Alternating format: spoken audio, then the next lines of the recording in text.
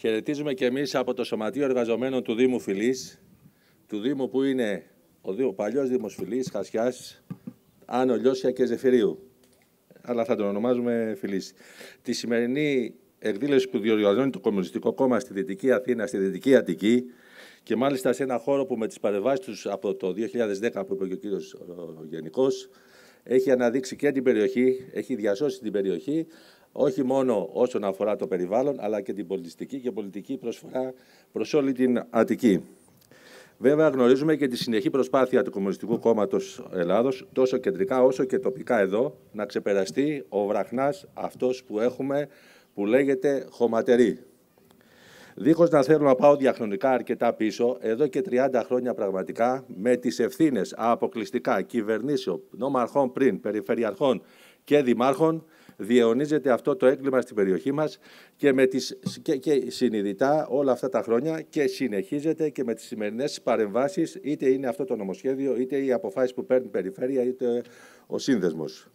Προκειμένου δεν να έχουν και ελεύθερα τα χέρια τους, οποιαδήποτε τυχόν εμπόδια έμπαιναν, καταργούν δημοτικά συμβούλια, όχι λόγω κορονοϊού, καταργούν περιφερειακά, περιφερειακά συμβούλια, περιβαλλοντολογικές αδειοδοτήσεις όπως αναφέρθηκε και σε λίγο και στην Ακρόπολη θα έχουμε και ανεμογεννήτριες έτσι όπως το πάνε γιατί αυτό προσφέρει το κέρδος τους. Όλα αυτά τα χρόνια το κίνημα στην περιοχή όπως αναφέρθηκαν υπάρχουν σταθμοί που, που αντιμετωπίστηκαν τα διάφορα προβλήματα. Όλοι τη Δυτικής Αθήνας αντιμετωπίζουν αυτό το πρόβλημα και συνεχίζουμε ακλόνητοι να, να, να βαδίζουμε σε αυτόν τον δρόμο. Έτσι, όπως είπαμε, έχουμε και την απόψινή ε, εκδήλωση που συμμετέχει και το σωματείο μας. Υπάρχουν πραγματικά στην περιοχή μας σκέψεις περί ανάπτυξης, έτσι όπως αναφέρθηκα, ή έρχονται χρήματα, αν τα λογαριάσετε είναι πάνω από ένα δισεκατομμύριο αυτό που έχει έρθει στο Δήμο Φιλής, έτσι όπως τον είπα πολύ και περισσότερο, και βλέπετε την υποβάθμιση που υπάρχει ακόμα στην περιοχή. Το ξεμζούμισμα που υπάρχει και των εργαζόμενων, είτε είναι με το lead που θέλει να ανοίγει 24 ε, ώρες βάση σε λίγο να μας κάνουν και όλους. Ξέρουμε όμως και με ποιους πάμε.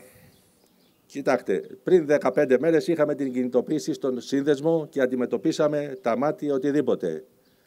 Και με την προηγούμενη κυβέρνηση, ο χαρακτηρισμός που έγινε σε Περιφερειακό Σύμβουλο ήταν όταν είχε καταρρεύσει όλο το, το σύστημα εκεί τραμπούκι και τα λοιπά. Δηλαδή πήγες εσύ να δεις τι γίνεται και δηλαδή ξέρουμε γιατί έρχονται και τώρα κάποιοι καλοθελητές και θέλουν να μας πλησιάσουν και να πούνε παιδιά και εμείς είμαστε, αλλά τον, τον Αύγουστο πέρσι που πάρθηκαν οι ουσιαστικές αποφάσεις, πάρθηκαν το Αύγουστο πέρσι σε, σε κοινή συνεργασία Δούρου, Πατού, Δούρου και Πατούλη.